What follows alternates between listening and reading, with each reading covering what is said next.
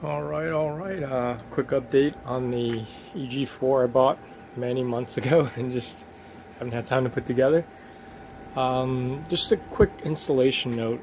I noticed that, I don't know if you can pick it up from the camera, but these things are like servers. So if you're ever work around like server racks and computers, they're essentially two computers that just manage power.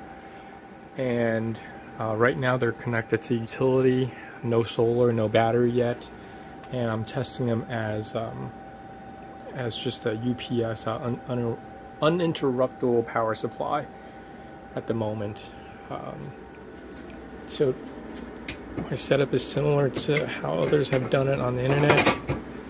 Um, we have two lines coming in and they're feeding the two different legs controlled by this 60 amp breaker, which is completely oversized, but um, we'll, we'll, get to that some other time.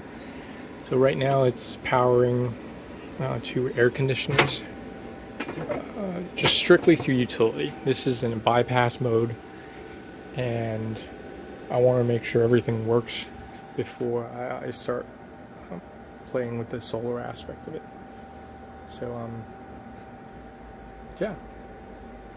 Uh, it's quite noisy, so install it in your garage or someplace. You don't want this in your living room, in other words. So, uh, quick note for today. Thanks.